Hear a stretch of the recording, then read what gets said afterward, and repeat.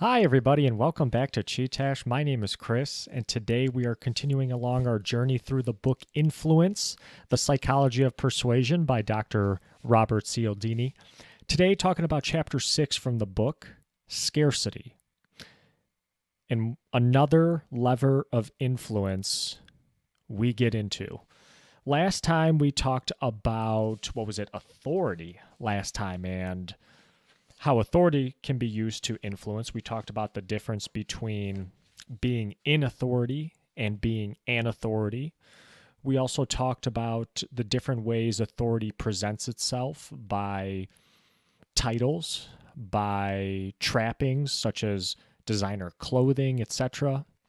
We also talked about how being an authority can cause kind of a halo effect and make a person seem more desirable, more favorable in other areas other than their expertise. But today we're going to talk about scarcity. And scarcity at its basic point is the less of something in society, the more valuable it becomes. I first learned about scarcity from probably economics class, right? Where you see as the supply of an item decreases, the price of it or like the value of it goes up. You know, that I think that's where I first learned the term scarcity. And it can be again just another very very powerful tool to get compliance from other individuals.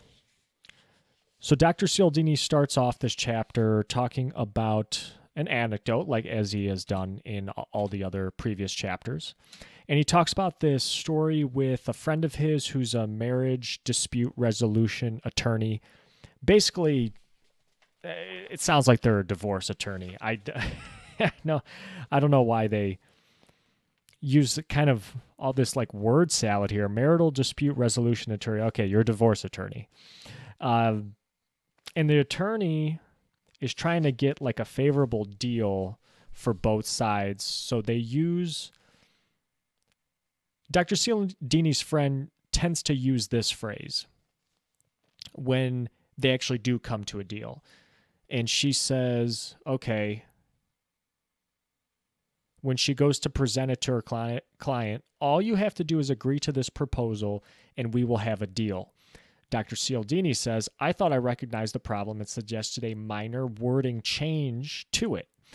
We have a deal. All you have to do is agree to this proposal. Do you guys see the difference there? And it it took me a while to get the difference there. So you can see the two quotes on the screen.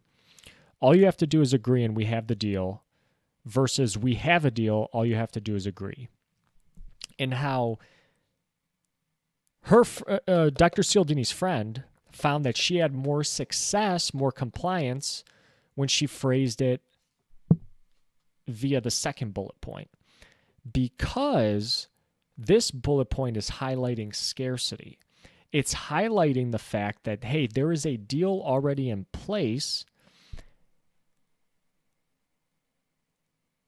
But if you don't agree to it, we're going to lose it. So you're avoiding the fact of a loss in this situation versus in the beginning, you haven't gotten the deal yet. You still have to agree to it, so you don't have anything. But in the second one, you have the deal. Now you don't want to lose it.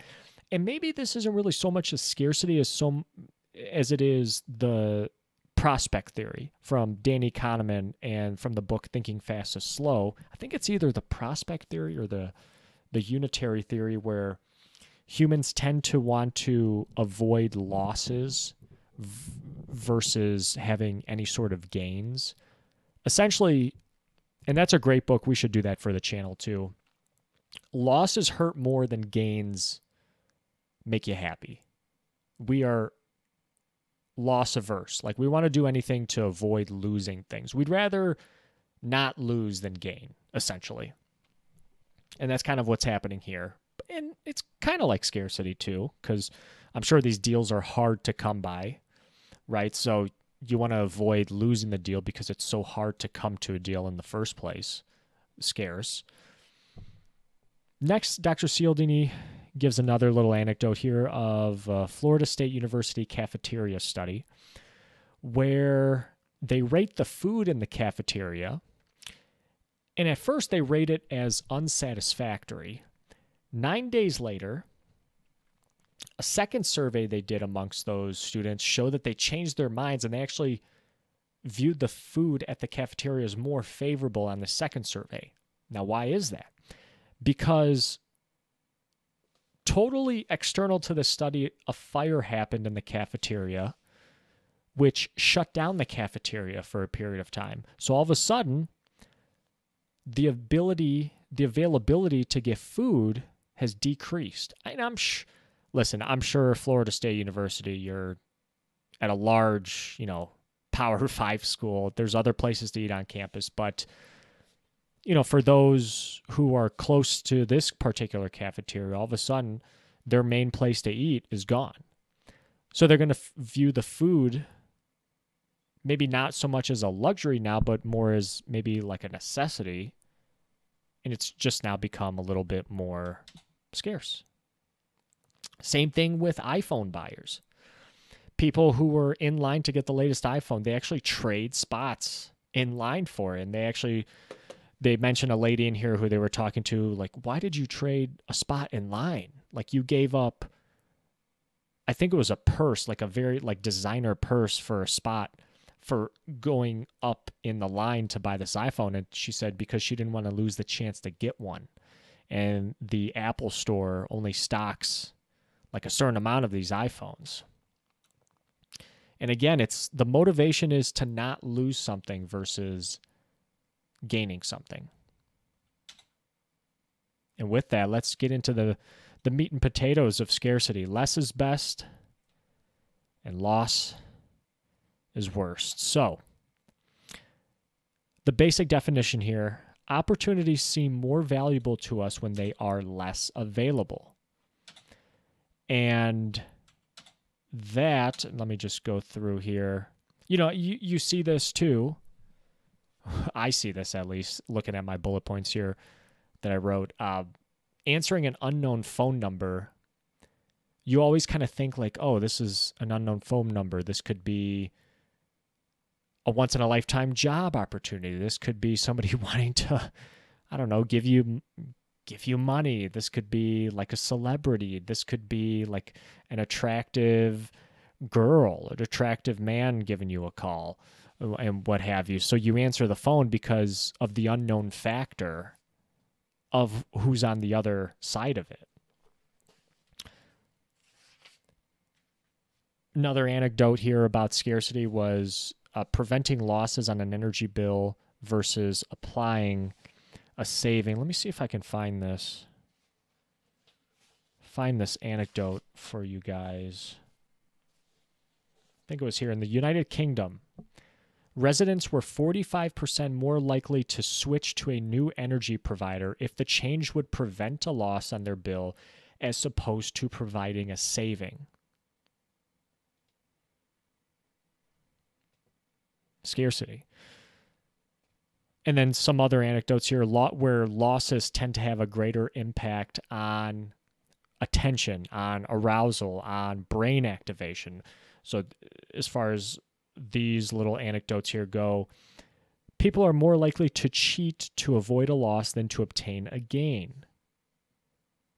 Team members were 82% more willing to cheat to avert a drop in status on the team than to experience an equivalent climb in status. So they would rather cheat to stay where they're at versus working super, super hard to gain a status. Is kind of how I take that. Losses have greater impact on, again, on gaze, on heart rate, pupillary dilation, and on cortical stimulation.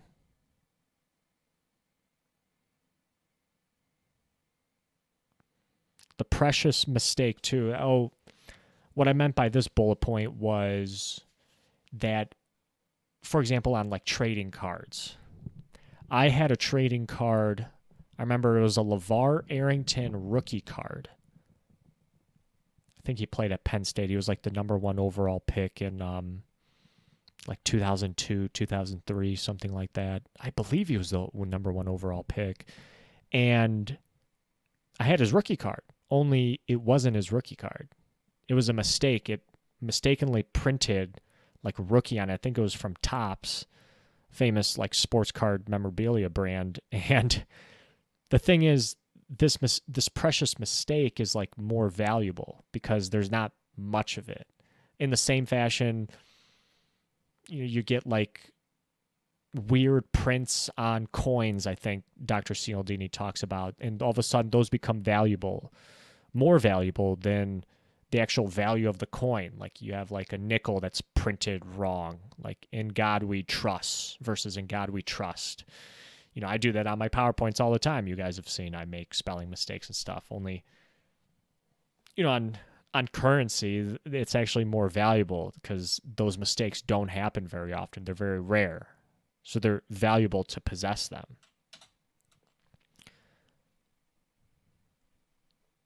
And this was just another another example, another little anecdote here. Medical examinations to check for certain ail- ailments do better if not checking leads to a loss in a certain area in somebody's life. So, as like an example, um, people are more likely to go in to get their vision checked if you present it to them in the fashion that, hey, if you don't get your vision checked, you're going to lose the ability to read to your grandson, granddaughter, son, daughter, etc. Versus if you say, hey, you should get your vision checked to make sure you can still you can still see.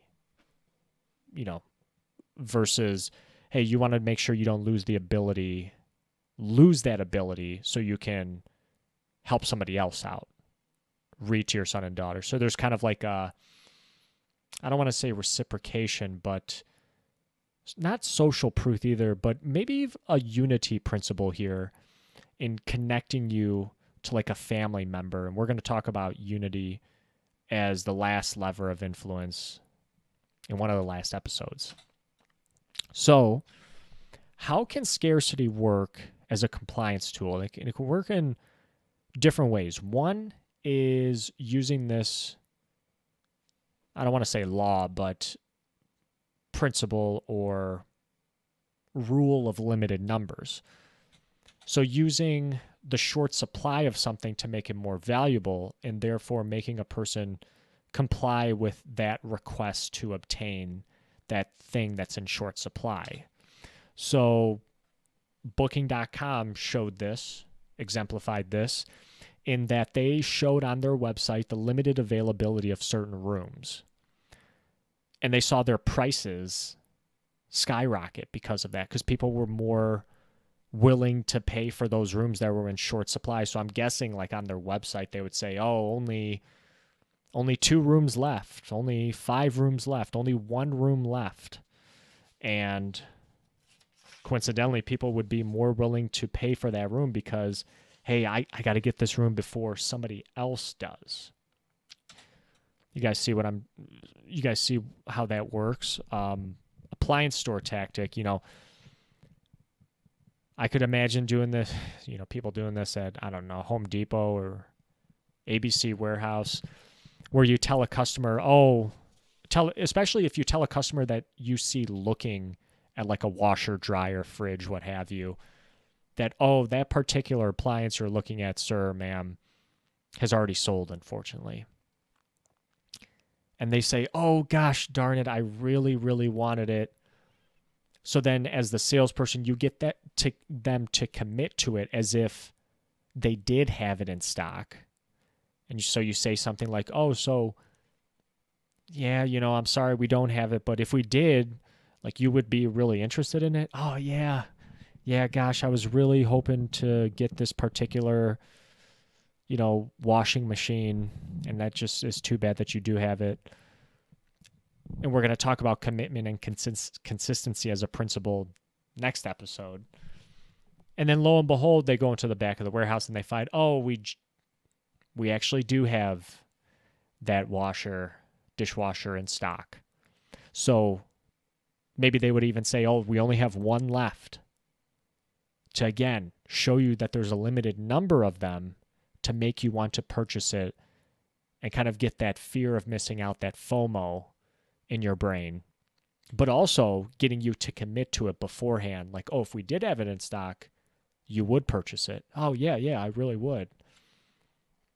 And Cialdini talks about it in there in, in this chapter. You, you be careful of those tricks. And we're going to talk about that in the defense, how to defend against these this certain lever of influence. So limited numbers, another way it is used is in this limited time. Limited time principle. So, how does this work? It basically says that hey, you only have a, a certain time frame to have access to a particular item, to a particular location, to do a certain thing. So it's not in the limited quantity of it, it's in the limited period of availability that you have at that certain product, item, what have you. Dr. Cialdini talks about a personal anecdote where Mormon churches out in, oh gosh, I, I, um, I think it was Colorado? Mesa, oh, Arizona. Arizona, yeah. Mesa, Arizona. And how the Mormon churches normally don't allow non Mormons into their church, but for certain time periods, they do.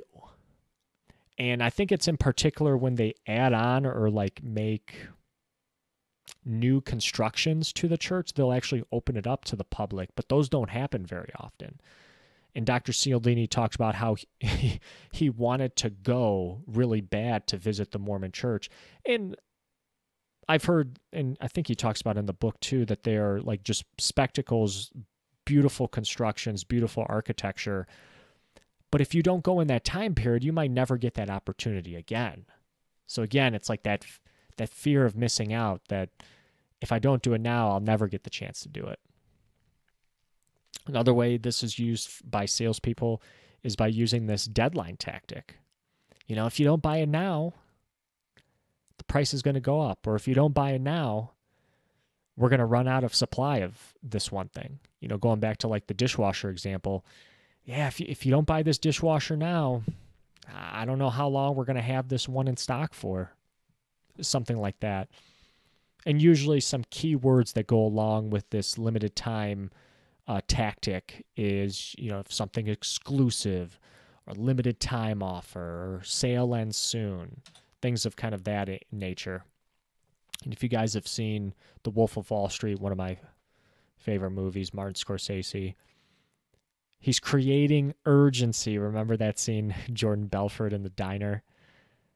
He's like, sell me this pen. Well, why don't you write your name down? I can't. I don't have a pen. See? Supply and demand. and Jordan says, see, he's creating urgency. And that's kind of what you're doing here with scarcity. So, psychological reactance, what does this mean? Well, this is a theory developed by this gentleman, Jack Brehm. And it basically talks about how you react to a decrease in your freedoms. So, when your freedoms become scarce, you react in I don't want to say negative, kind of negative, or you basically don't like it. You react in a way that makes you anxious in that you want them back. You're you're trying to preserve the personal freedoms that you do have. So when choice is limited, the need to retain our freedoms makes us want them even more. Because you start to realize, oh my gosh, if the choices are limited right now, they might be even more limited in the future. So we have to kind of hold our line as far as the freedoms that we do have. And Jack Brehm says, you know, by offshoot, the goods and services that are associated with, with the freedoms, you want those even more as well. Because you're interfering with prior access to them, which makes us want the thing even more. This plays out in different periods of our life. So when you're young, there's a period in your life called the terrible twos. Pretty sure everybody's gone through this, or you've had a son or daughter that are going through this, maybe even right now. Where at two, children start to view themselves as individuals. Let me just go to the next bullet point right there. They tend to view themselves as individuals versus being like just an extension of mom and dad. They really start to view themselves as separate beings, which brings with it freedoms.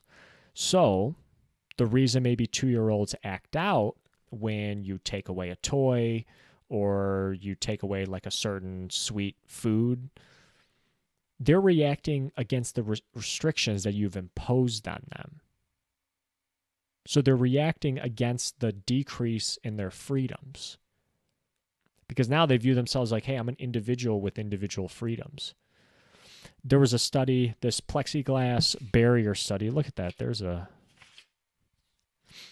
there's a spelling mistake that we know and love. Young Barry's study. So they had two groups with plexiglass blocking access to a toy and one toy that was unrestricted in access. So you had a group, you had a barrier between a toy and the baby or the two year old. And then you had another toy where there, there was no barrier, they could freely access it. In the two groups, one group had a barrier that was higher than the other group. So both groups in this study have the barrier and have the unrestricted access to the toy. It's just one group had a higher barrier than the other. What they saw was that the barrier that was higher saw the toddlers try for the obstructed toy three times faster than with the toy that was unobstructed in that in that group. Let me make sure I, I have this right. When the barrier was too short to restrict access to the toy behind it, the boys showed no special preference for either of the toys. On the average, the toy next to the barrier was touched just as quickly as the one behind it, but when the barrier was high enough to be a true obstacle, the boys went directly to the obstructed toy, making contact with it three times faster than the unobstructed toy.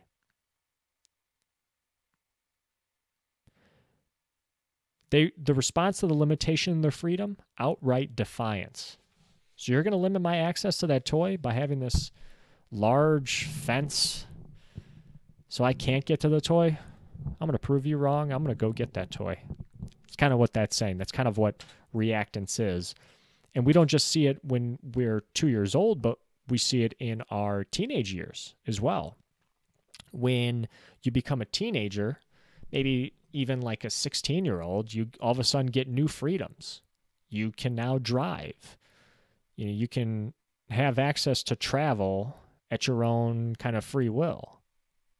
You know, to an extent, but Cialdini kind of talks about this Romeo and Juliet effect, where the defiance of parental pleas that should be without the E for Romeo and Juliet to not see each other. So the two families, the what was it, the Capulets and the Montagues, you know, they don't want Romeo and Juliet to see each other. They're feuding with each other. Well, it's driving the passion between Romeo and Juliet closer and closer together. It's skyrocketing their love for each other because they're reacting out of this decrease in their freedom to see each other. You know, they, they did a study with 140 Colorado teens, and they found that parental interference led to greater romantic feelings for the couples that they interviewed for that study.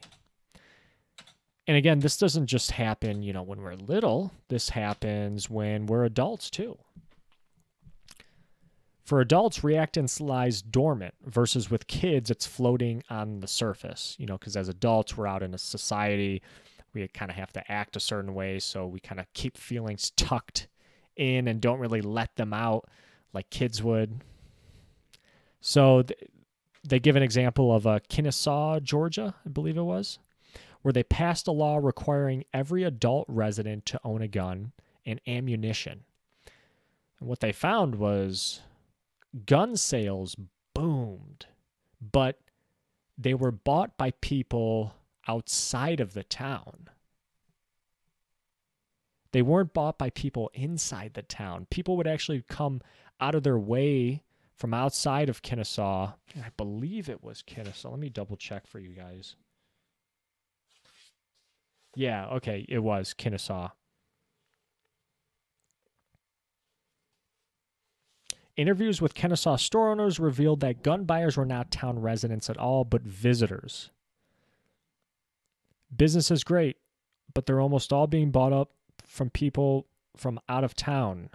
We've only had two or three local people buy a gun to comply with the law. Only those individuals whose freedom in the matter had not been restricted by the law had the inclination to live by it. So this is kind of interesting. So this is kind of reverse like, hey, we're going to make you do something. But the fact that you're making me do something, I don't want to do it. You're reacting out against it. It's kind of like a reverse in the in in a way. There's another example of in Miami Dade County, they banned phosphate based cleaning products. So, what happened? People reacted against it, reacted against that loss of freedom. People started hoarding phosphate phosphate based cleaning products. People actually then came to see the cleaners as a positive, that they worked better than the other products. And there was a desire to attain the products after banning, which created this sort of halo effect. So, oh, they banned it. Oh, it must be like better than the other cleaning products in a way. You see, we've we've talked about that halo effect to to like as I mentioned before with authority, where you have like an authority in a certain field, and all of a sudden you think you view you view them as more honest, you know, more empathetic, like in other totally like external things to the authority that they actually have in. You know, they could be like a history professor, but all of a sudden you start to think, okay, he's an authority in history, but he he's also an authority on finances, something like that. And we kind of see that too with the this clean these cleaning products. So to kind of piggyback off that idea is this idea of censorship in our response to banned information in that we want to receive it. Like, why are you banning it? Like, I want to know it. You know, that's kind of the feeling. So we become more favorable to it, to censored information, as opposed to if it wasn't banned. And we actually start to view it as more true. You start to view the information as more favor- favorable, more correct. So they did a study at uh, University of North Carolina on banning speech that opposed co-ed dorm rooms, and what they saw, students became opposed to the idea of co-ed dorm dorm rooms. The argument seemed more favorable. Let me see if I can find this study for you guys. Here we go. For example, when University of North Carolina students learned that a speech opposing co-ed dorm rooms would be banned, they became more opposed to the idea of co-ed dorms. Thus, without ever hearing the speech, the students became more sympathetic to its argument. This raises the worrisome possibility that especially clever individuals holding a weak or unpopular position can get us to agree with the position by arranging to have their message restricted. That's a very, very interesting idea there.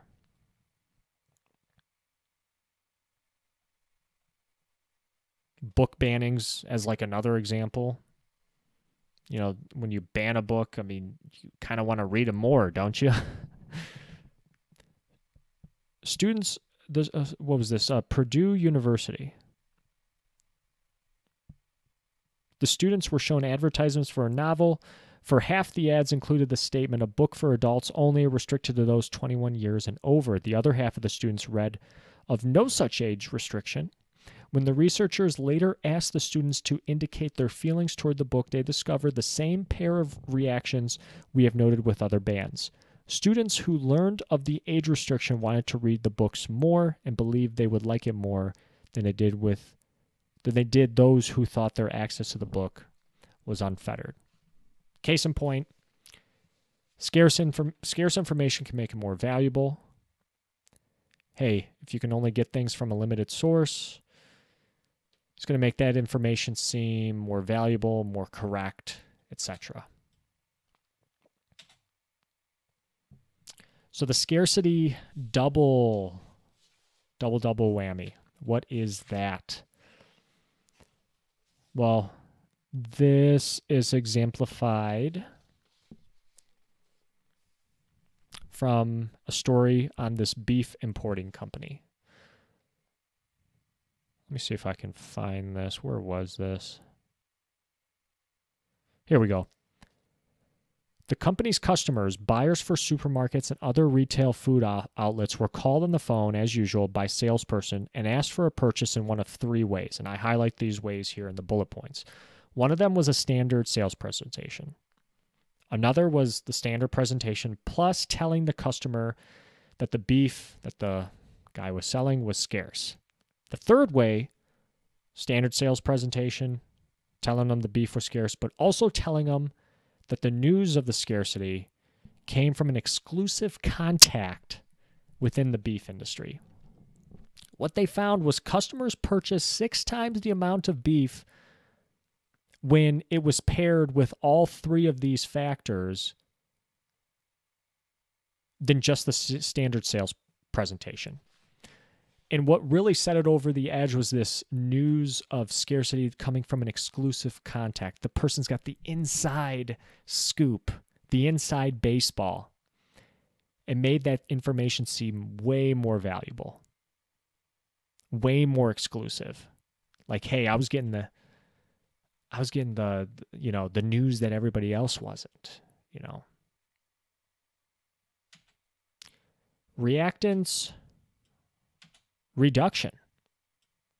So, we talked about reactance, reacting out against the loss to your freedoms. Like we've talked about before in episode, other episodes, people don't really like to be sold. I don't really want to feel like I'm being sold. I don't mind salespeople, but if it's like if they try too too hard, I don't know. All of a sudden, it kind of turns me off a little bit. So Cialdini talks about, you know, you're winning the battle over the reactance response. And how do you do this? How do you do this? This and this is like if you're a salesman trying to win the battle over somebody else's reaction to you to your compliance request. Well, you can use other techniques of influence that we've mentioned before reciprocation, authority. Gosh, uh, yeah, now social proof. There we go. Gosh, I'm blanking on them. Yeah, social proof, authority, uh, commitment, consistency, scarcity. I mean, we're talking about scarcity now, but you guys know what I mean. You could mention a drawback to the compliance request it's like a drawback to the certain item that you're selling somebody on. We talked about that um, in one of the in uh, one of the episodes. You could you could use the but you are free method to give somebody the chance to back out. You're basically giving them the freedom to say no, which Dr. Cialdini talks about. It doubles the success rate compared to the standard request.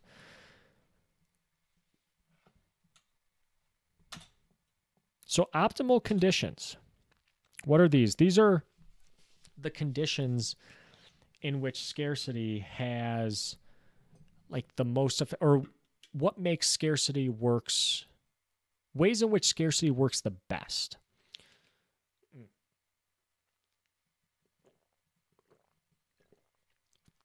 as i take a swig of my water so Scarcity is more effective at certain times than others.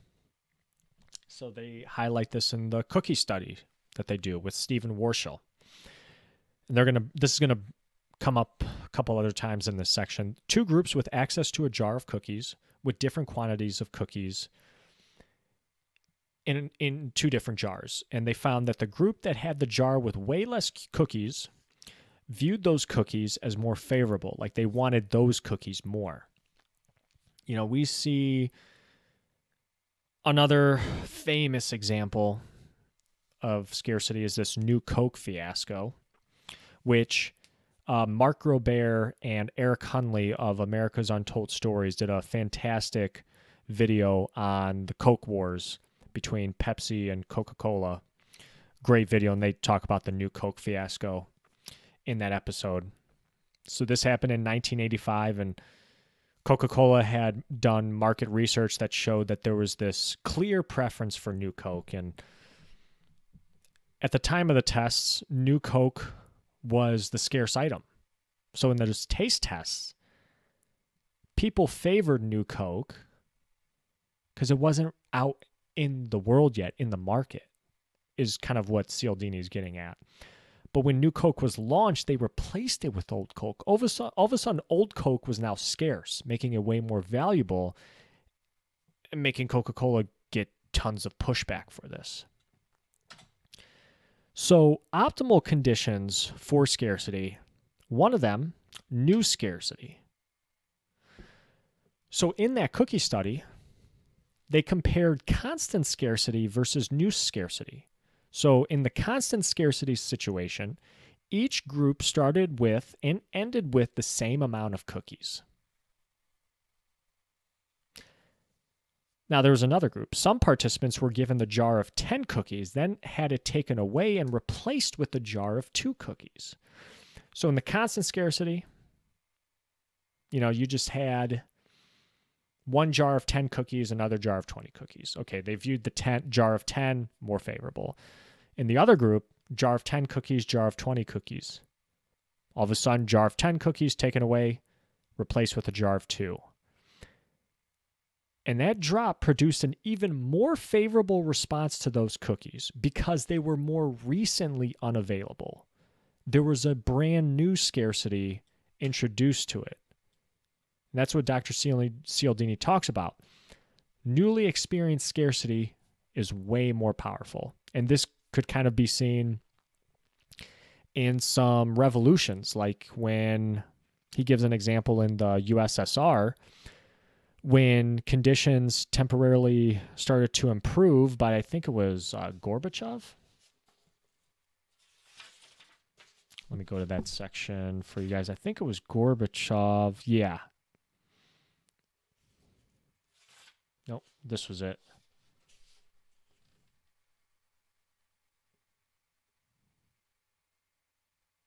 Yeah, I think it was Gorbachev who gave the Soviet people like freedoms. Then all of a sudden there was a coup, Gorbachev kicked out, and freedoms were taken away to go back to the old way of doing things, and people revolted against it. Like, no, all of a sudden there's a new scarcity and kind of a reactance to freedoms being taken away, right?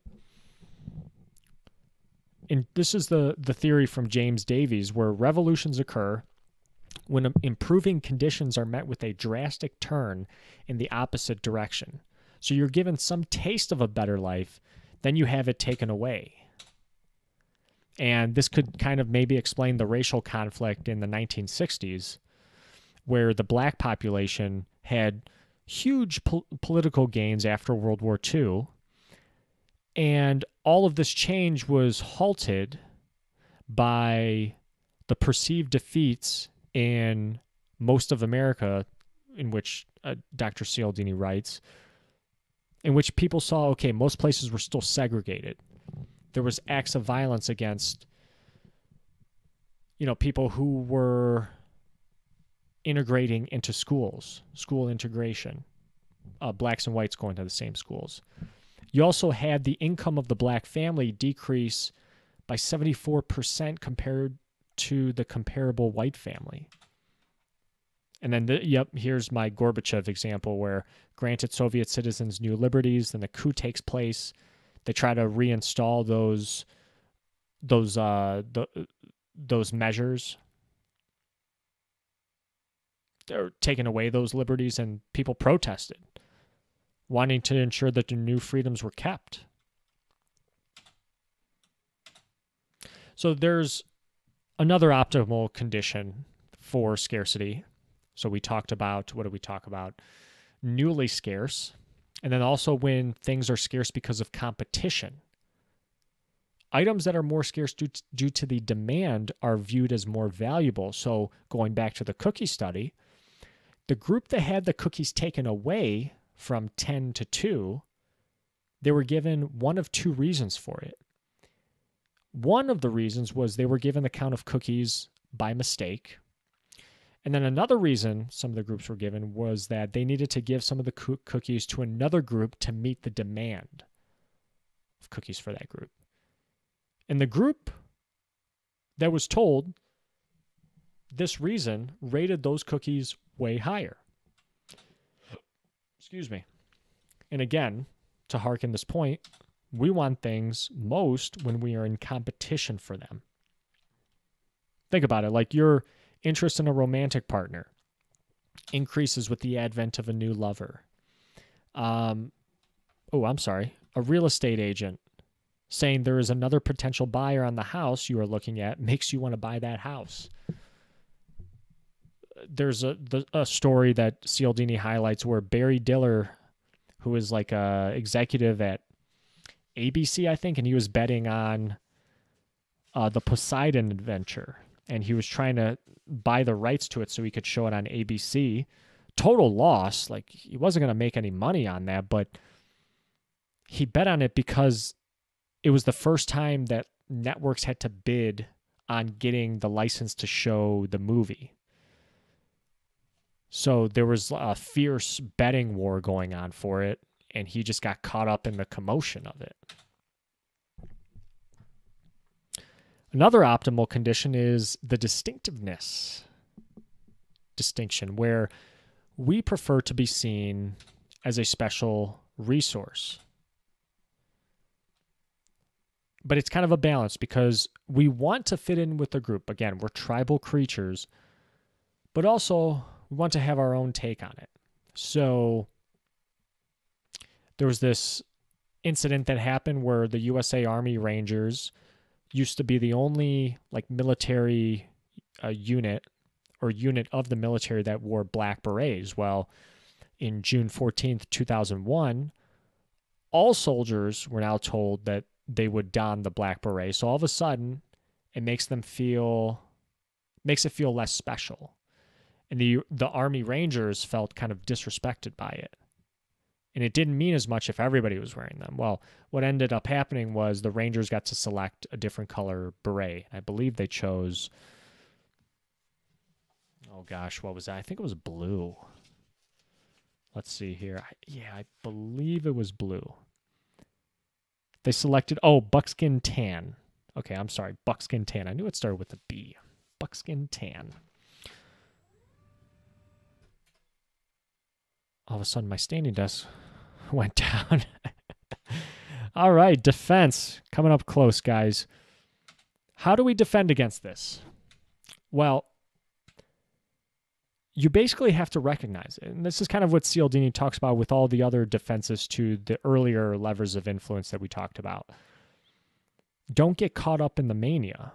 And you have to recognize when you start to get that sweeping arousal due to the scarce resource, kind of like Barry Diller did when he was uh, bidding on the rights to the Poseidon Adventure, which is a movie. I don't know if I mentioned that before, but yeah, older movie. You recognize that you're getting like that sweeping arousal, you're getting caught up in the mania, the FOMO, the fear of missing out, and you have to ask yourself a couple questions. One of the questions, actually, you ask yourself one question why do I need this item? Why do I actually need this item? Do I actually need this item? Think about going back to the cookie study. Even though the scarce cookies were rated as more valuable, they weren't rated as better tasting. They're still the same cookie, right? So, why do you actually need the thing that is less in supply? Do you actually need it? Because the arousal comes from the possession of the item, not necessarily from your experience with the item. So, keep that in mind as a defense. Look out for that sweeping arousal feeling and then ask yourself, hey, do I really need this product? And to summarize, you know, in, in scarcity, uh, in this chapter on scarcity, we learned about loss aversion. You know, we just don't want to lose things. We would rather not lose than win. Losses hurt more than gains win, or losses hurt more than gains feel good, essentially. So, scare and scarcity holds for two reasons things are difficult to obtain are usually more valuable. And as things become less accessible, we lose freedoms, i.e., the reactance theory. And we try to retain those freedoms. We see reactance in a person's younger years with the terrible twos and the teenage years. Both years of defining time periods of a person's life where you start to see yourself as an individual and as somebody separate. And along with that, you feel like you deserve and need those freedoms of an individual. Don't want to be tied down. We talked about censorship and how limiting access to information makes it more favorable. We talked about how you can optimize scarcity by making something both newly scarce, more recently scarce, and also making it scarce due to an increased demand for it, an increase in competition for that particular item. And then lastly, we talked about how to defend against it, recognizing that arousal pattern. And then ask yourself the question do you really need this thing that you're getting roused about? And that's going to do it, guys, for this chapter on scarcity. Tune in next time where we're going to talk about commitment and consistency next time. Oh, yeah, and by the way, those other levers of influence authority, social proof, liking that was the one that I was missing, and reciprocation. we tend to comply with those who are most like us. That was the liking principle. Anyway, guys, I know this was a longer episode. Thanks for sticking with me till the end. Really, really cool book. Um, very applicable in everyday life. And I really appreciate you joining me on this journey through Influence the Psychology of Persuasion. We got a new interview coming out tomorrow. Check it out. It'll be on the CheeTash podcast on Spotify, Apple, Google, Amazon, Samsung. You can there's an RSS website for it as well. Thank you guys so much for tuning in. My name is Chris. This has been CheeTash. Take care, everybody.